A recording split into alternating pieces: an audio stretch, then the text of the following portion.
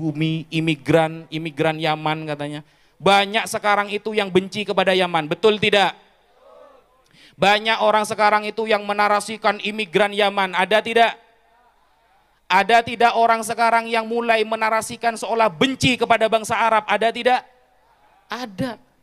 Padahal Rasulullah berdoa, Allahumma barik lana fi syamina, Allahumma barik lana fi yamanina.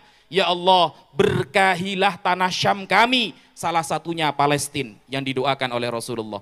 Yang kedua, berkahilah tanah Yaman kami, dapat doa dari Rasulullah. Sekarang mulai ada orang-orang yang menarasikan benci kepada negara Yaman.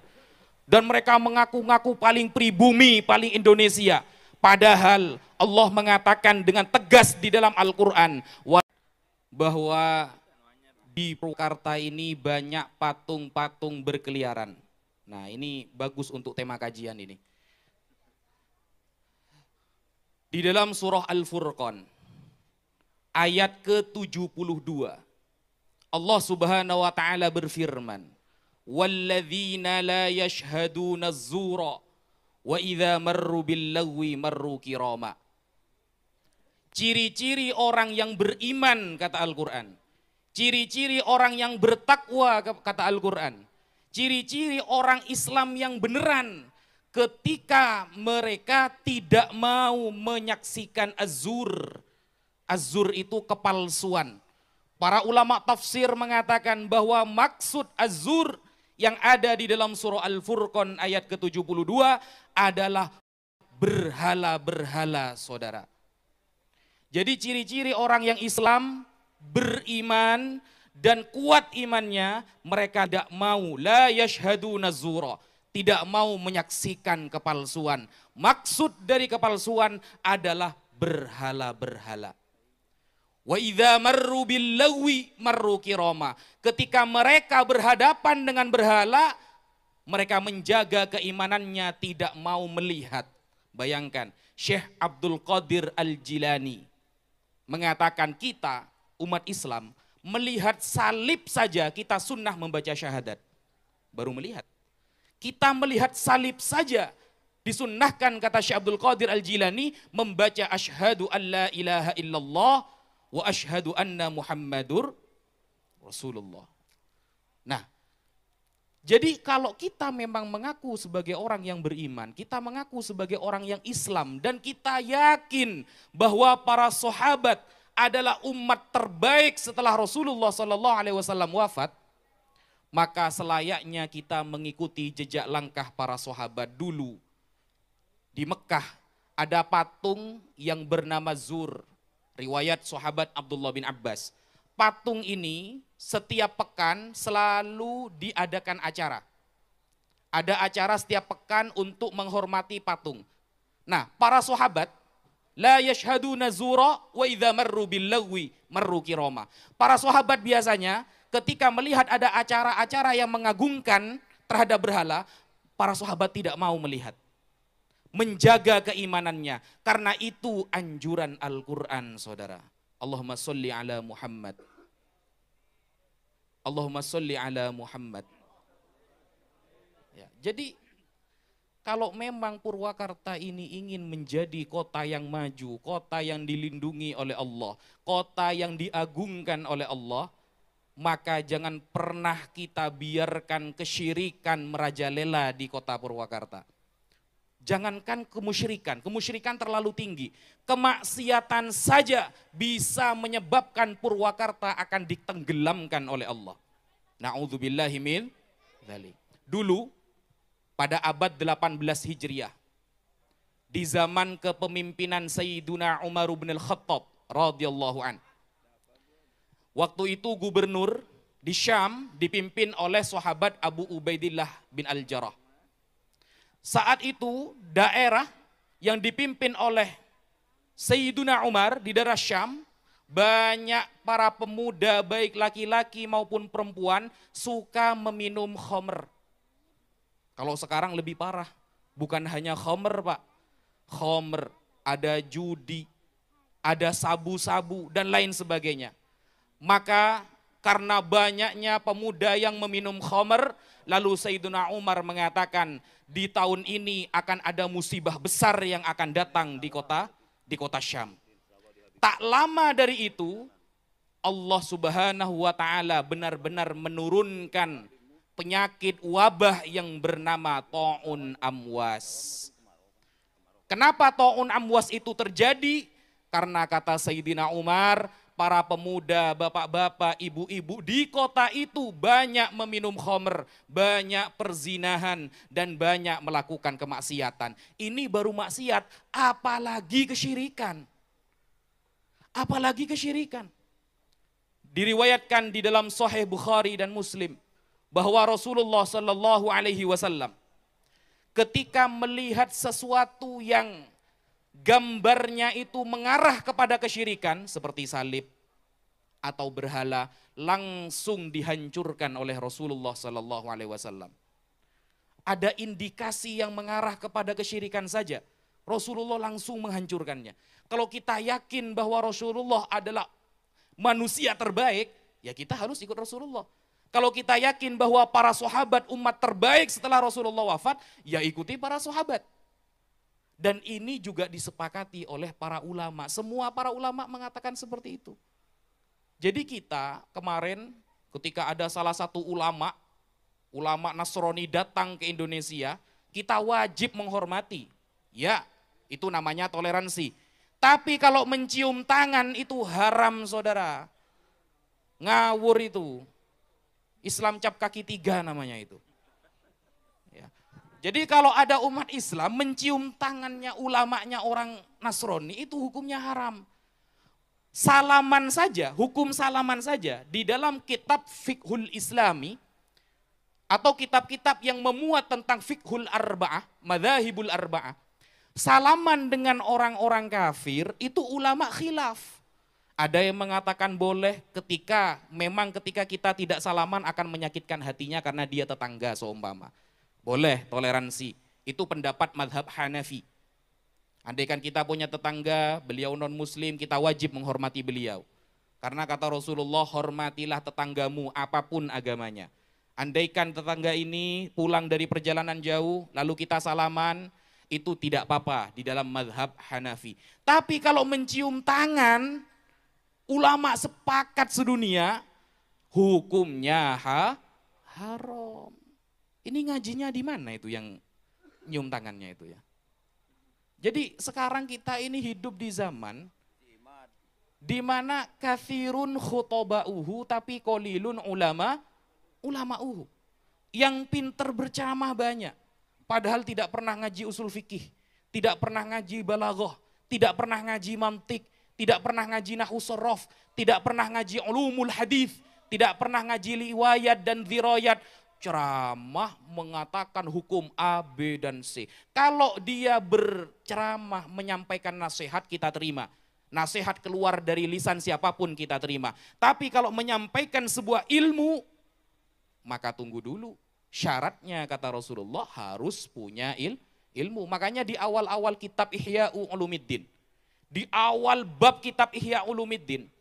Riwayat dari sahabat Abdullah bin Abbas di dalam kitabul ilmi surganya ahli ilmu dengan surganya kita itu jauh Pak.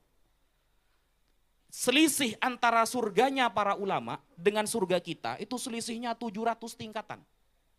Setiap satu tingkatan menuju tingkatan selanjutnya, andaikan kita berjalan, itu jaraknya 500 tahun. Jadi kalau di dunia Anda tidak pernah kenal dengan para ulama, di dunia Anda tidak pernah dekat dengan orang soleh, di dunia Anda tidak dekat dengan para habaib, bahkan di dunia Anda mencaci maki keturunan Rasulullah, jangan pernah berharap nanti di akhirat Anda akan berkumpul dengan para ulama. Jangan pernah berharap. Kenapa? Kalau di dunia kita tidak pernah kenal dekat dengan orang-orang yang VIP, maka jangan pernah Anda di VIP-kan oleh Allah nanti di akhirat. Karena kata Rasulullah, yashfa'u yaumal qiyamah thalathatun tiga golongan yang dapat menyelamatkan kita nanti di akhirat. Pertama, al-anbiya, para nabi. Kedua, al-ulama, para ulama. Yang ketiga adalah orang-orang yang mati syahid atau di dalam bahasa Arabnya asyuhada. Makanya ini perintah Rasulullah. Jadi bagus yang disampaikan Kiai Syahid Johan barusan. Rasulullah secara tegas dalam hadis sahih mengatakan jahidul kufara wal musyrikin. Pertama, bi sinatikum. Berjihadlah melawan orang-orang musyrik pertama bi sinatikum dengan lisan. Ini disampaikan oleh para ulama, para ustadz, sampaikan dengan lisan. Yang kedua, bi amwalikum. Nah, ini yang nyalon Pak Gubernur, bi amwalikum. Karena punya amwal, punya harta. Kalau biaya menghancurkan satu kemusyrikan butuh satu M dibayar demi Allah menjaga kota Purwakarta. Atau terakhir bi anfusikum kata Rasulullah. Perangilah, berjihadlah melawan orang-orang musyrik bi anfusikum dengan jiwa raga kalian. Jadi kita yang ada di Purwakarta tidak usah ya, tidak usah bertengkar sesama umat Islam, apalagi sampai terjadi pertengkaran yang tidak ada gunanya, tidak usah. Kalau memang merasa berani datang ke Palestina, Ya, kalau memang berani datang ke Palestina, sekarang perang di sana itu.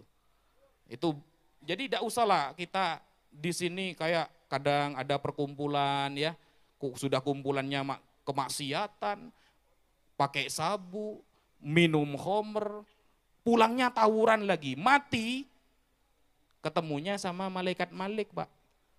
Bukan malaikat Ridwan kalau sudah seperti itu. Jadi kalau kita memang ingin kota Purwakarta ini dijaga oleh Allah, maka para ulama dengan pemerintah harus bersatu.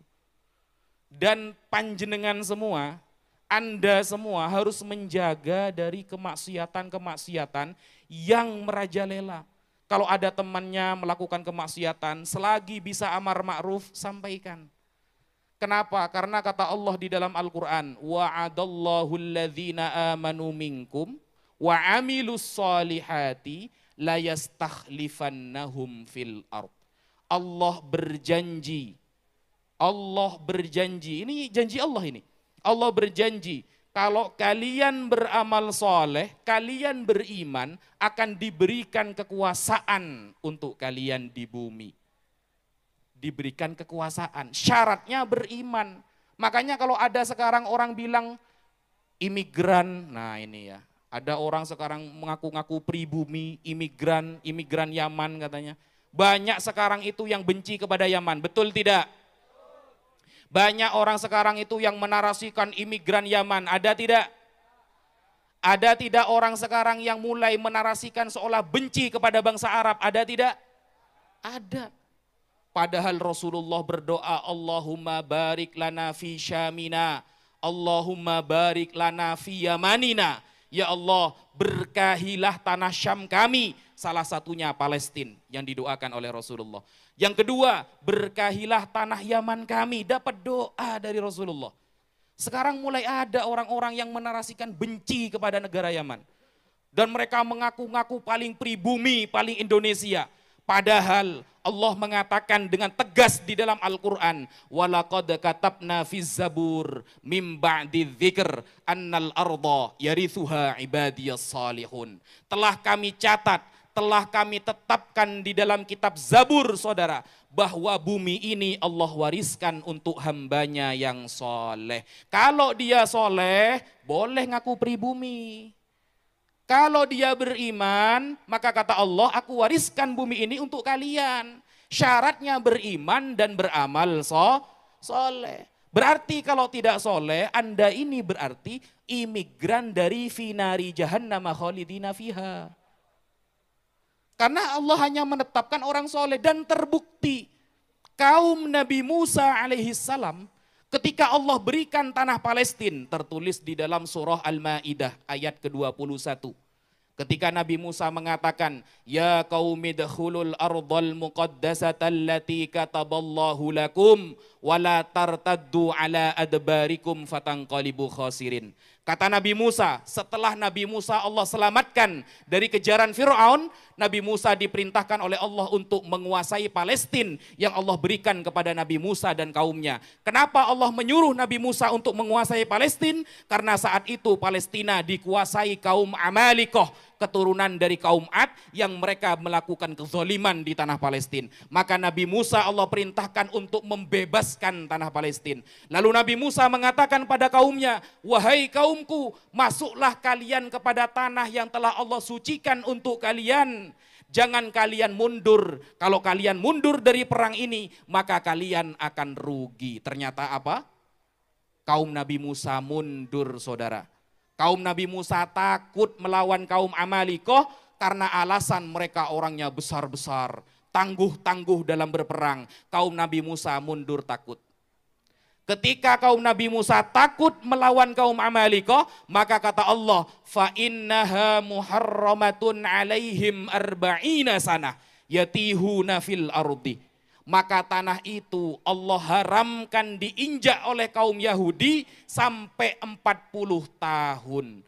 Mereka bingung tidak punya tempat di bumi. Bayangkan, kaum Nabi Musa yang jelas-jelas mendapatkan tanah Palestina, Allah haramkan menyentuh tanah Palestina sampai 40 tahun. Gara-gara apa? Gara-gara tidak mengikuti nasihat dari Nabi Musa alaihis salam. Jadi pribumi itu adalah orang-orang soleh. Kalau tadi kata Kiai Haji Syahid Joban mengatakan bagaimana pengalaman ketika berdiskusi melawan orang-orang yang benci kepada habaib, tidak ada pengalamannya Kiai, karena lawannya kabur. Pengalamannya ada ada. Kesetiap diajak diskusi, kabur sana, kabur sini. Saya jauh-jauh dari Probolinggo, bawa kitab satu kerdus, kitabnya mie goreng sedap itu Pak ya. Sampai di bandara dikira saya mau jualan mie itu.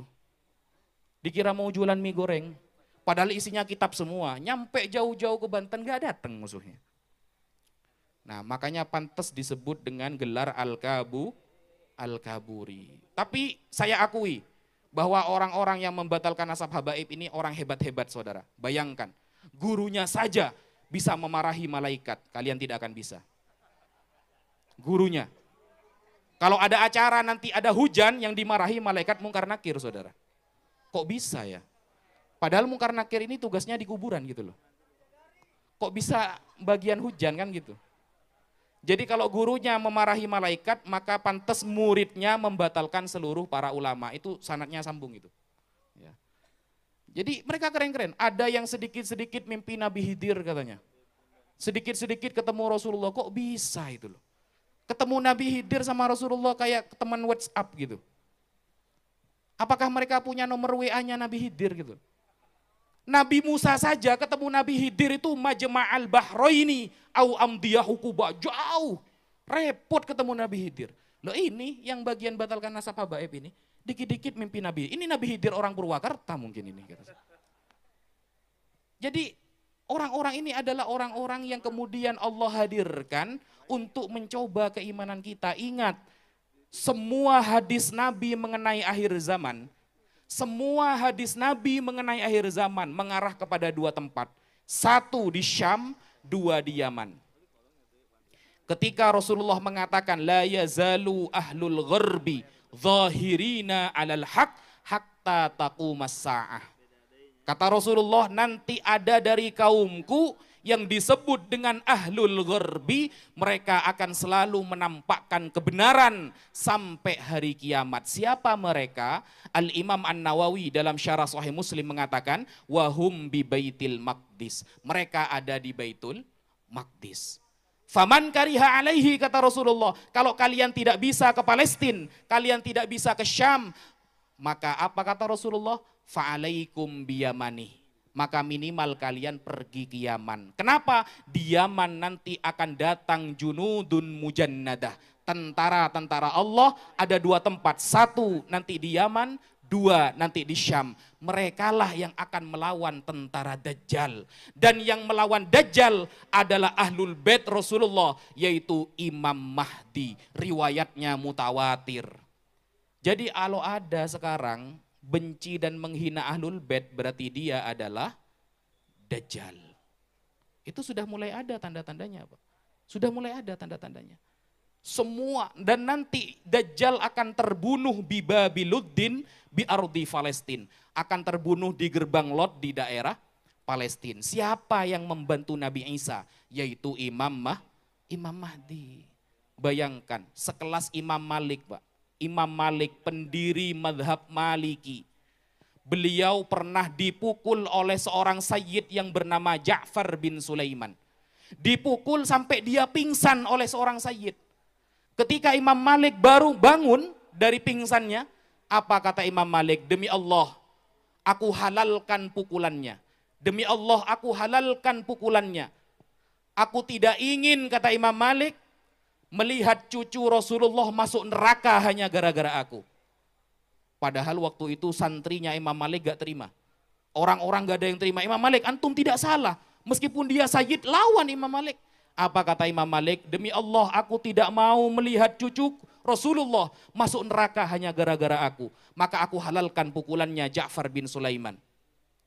Ketika kemudian kekhilafaan diganti kepada Khalifah Al-Mansur, Khalifah Al-Mansur membela Imam Malik untuk membalas dendam kepada Sayyid Ja'far bin Sulaiman.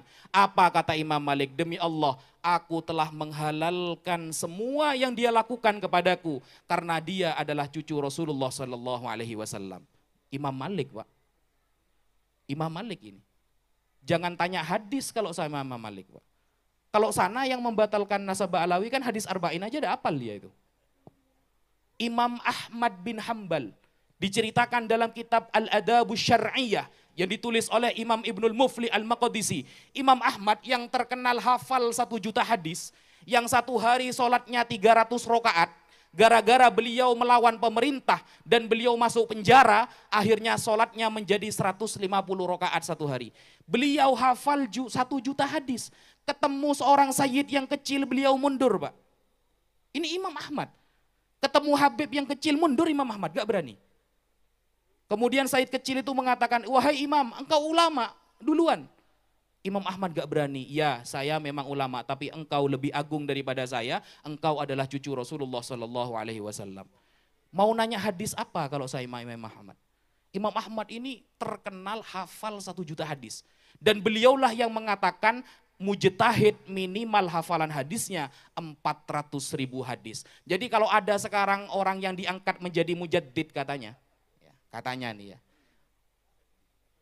Dia adalah mujaddid zaman ini. Hmm, pret. Mujaddid, iya. Mujaddid fi ifsadiddin, iya. Makanya nama lengkapnya di belakang kasih Fakot Hadamaddin. Nah. Mujaddid ngaku-ngaku keturunan Sultan Hasanuddin loh. Kalau keturunan Sultan Hasanuddin berarti keturunan Sayyidah Husain. Sayyidina Husain itu paling pantang mundur kalau ditantang saudara. Sayyidina Husain itu paling pantang mundur satu langkah kalau ditantang perang. Ngaku keturunan Sayyidina Husain diajak diskusi takut. Ini Husain yang mana ini? Husain Purwakarta. Ya. Jadi kalau mengaku keturunan Sayyidina Husain harusnya berani. Perang saja berani apalagi cuma ditantang disku, diskusi. Nah itulah ya polemik yang terjadi pada zaman ini. Semoga kita bisa mengambil banyak hikmah bisa banyak mengambil banyak barokah, banyak manfaat dari apa yang terjadi. Mungkin sekarang para habaib dan ulama diadu domba. Jangan salahkan kalau kita terlambat. Kalau sampai kita terlambat memberikan pendidikan kepada anak-anak kita, jangan salahkan nanti mungkin lima tahun ke depan para kiai akan diadu domba, maka kalian akan terikut fitnah-fitnah tersebut. Kalau sejak sekarang kita tidak mendidik anak kita tentang ahlu sunnah wal jamaah. Sejak sekarang kita tidak memfasilitasi anak-anak kita belajar kepada para ulama. Maka nanti di akhirat ketika anak ini berbuat maksiat, anak ini masuk ke dalam akidah yang sesat, maka Anda pun juga akan dapat transferan dosa-dosanya. Mantaroka waladahu jahilan karena kullu dzambin amilahu alaihi. Orang tua yang membiarkan anaknya bodoh dalam hal agama, maka semua dosa anaknya juga ditanggung oleh orang tuanya. Hati-hati, Pak. Sekolah yang tinggi boleh S1, S2, S3, tapi nasihati anak jangan jauh dari para habaib, jangan jauh dari para ulama. Mungkin itu dulu yang bisa Al-Fakir sampaikan. Kurang lebihnya Al-Fakir mohon maaf kalau ada kebenaran itu datang dari Allah, kalau ada kesalahan itu dari Al-Fakir sendiri. Walafu minkum wassalamualaikum warahmatullahi wabarakatuh.